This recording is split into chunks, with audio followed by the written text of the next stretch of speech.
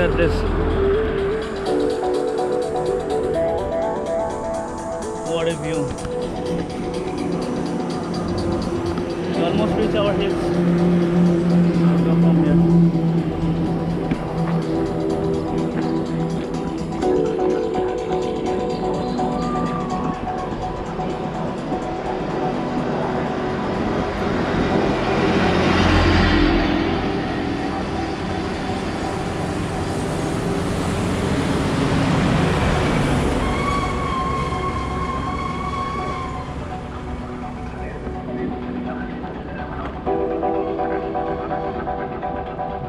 Huh.